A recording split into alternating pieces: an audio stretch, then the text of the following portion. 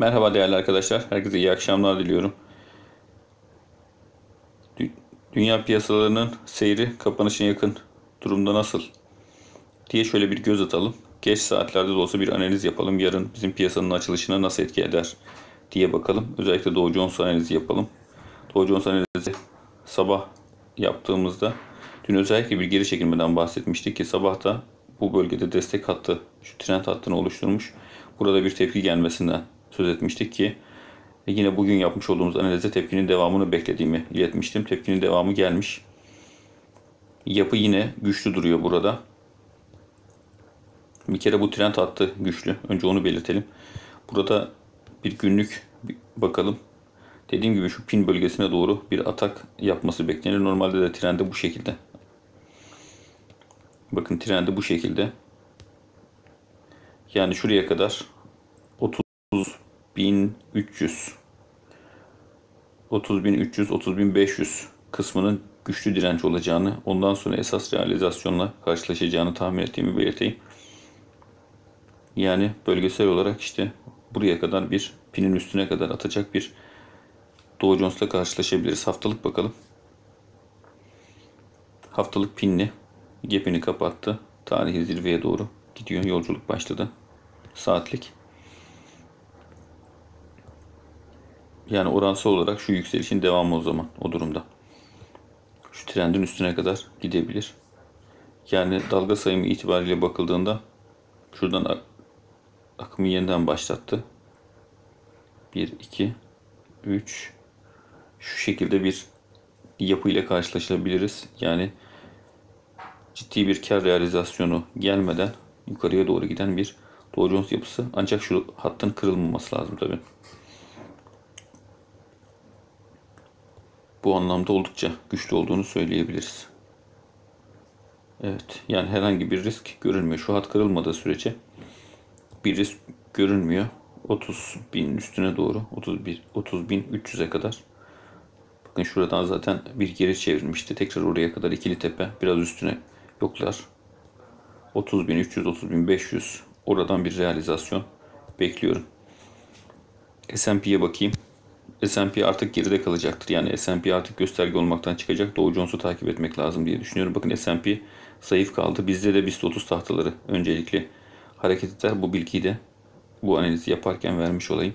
Şurada genişleyen üçgen var dikkat ettiyseniz. Burada da her ne kadar Dow Jones'la beraber tepki gelse de şu süper trendin olduğu bölgeye vurur. Ondan sonra bir tekrar geri çekilme 3500'e doğru geri çekilme yapacaktır diye tahmin ediyorum. S&P daha zayıf kalacaktır yani. Günlük baksam ne görürüm? Evet göründüğü gibi zayıf. Yani pinli bölgeyi sınaması lazım ama S&P zayıf gördüğünüz gibi. Diğer piyasalara bir bakalım. Altın da oldukça zayıf. Bahsettiğim gibi sabah 1900 bölgeye kadar 1880-85'e kadar atak yaptı. Fakat orada tutunamadı. Tekrar W yapmak üzere geri geldi. Ama görüntü oldukça zayıf onu söyleyeyim. Geçmiş Amerikan seçimleri sonrasında da altına sert satış verildiği, verdiği ile ilgili istatistik var elimizde.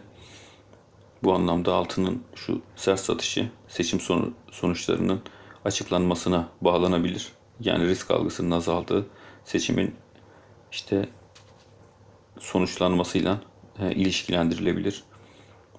Normalde burası kadar bir geri çekilme görülebilir. Şimdi ben 2021 ile ilgili ons altında 2500 hedefi olduğunu belirtmiştim. Haftalık bazda baktığımda bunu görüyordum. Yani şu yapının şu şekilde bir realizasyondan sonra çınak katlamalı 2500'e kadar gidecek olan bir yapıyı W yapısını beraberinde getireceğini ifade ediyordum. Yine beklentim değişmedi. Bu konuda bir arkadaşımızın genel yorumu vardı. 2500 beklerken nasıl oluyor da tekrar yatay hat ve aşağı dönüşten bahsediyorsunuz diye. Çünkü aşağı hedefler tam gerçekleşmedi arkadaşlar. Yani şu an dikkat ettiyseniz haftalık ortalamasının üstünde duruyor. Ee, şuradan biz hızlı bir atakla yukarı çıkma ihtimali doğmuştu. 1900'ü sert geçerek şu yeşil, şu uzun mumla ve bunun uyarısını da yapmıştı. 1960'a geldiğinde de bir realizasyon W hedefiydi bu. Bir realizasyonla karşılaşılıp tekrar orta noktaya 1900'e kadar geleceğini ifade etmiştik.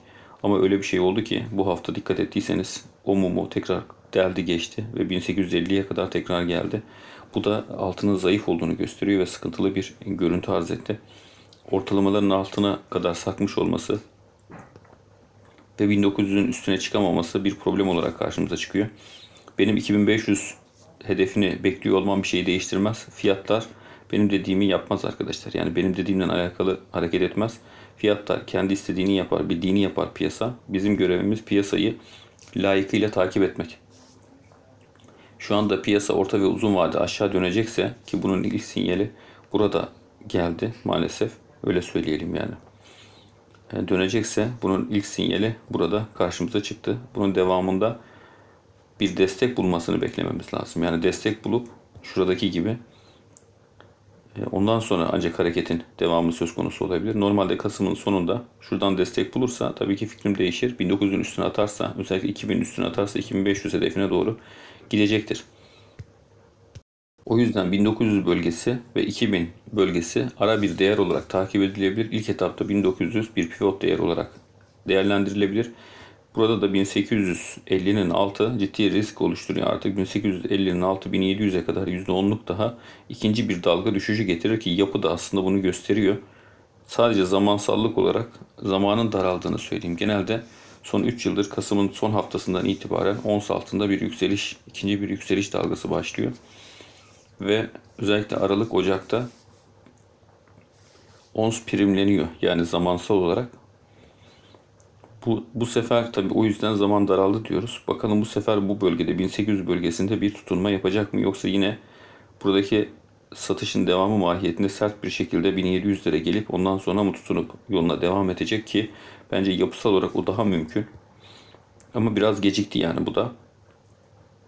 Bu da gecikti. Ben normalde bu kadar oyalanmasını beklemiyordum. Ons altının daha hızlı sert bir atakla gelmesini bekliyordum. Yani şuradaki W yapmak yerine şu şekilde bir geri çekilme ve ondan sonraki süreçte 2500 yoklayacak bir yapıyı bekliyordum. Ama onu yapmadılar. Artık e, dünya risklerinin veya pandeminin işte aşının bilmiyorum veya Amerikan seçimlerinin bahanesiyle de yapmamış olabilirler.